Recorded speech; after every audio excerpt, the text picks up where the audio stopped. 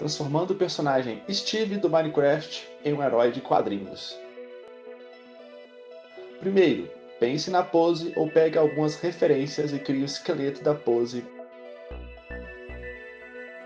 Faça um plaqueamento com os principais grupos musculares.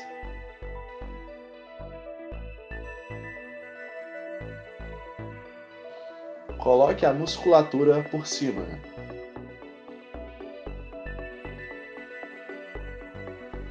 Agora vamos adicionar o uniforme de herói.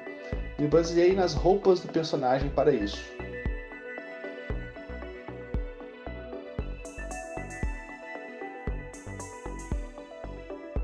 Coloquei um flash nas cores para melhorar a visualização.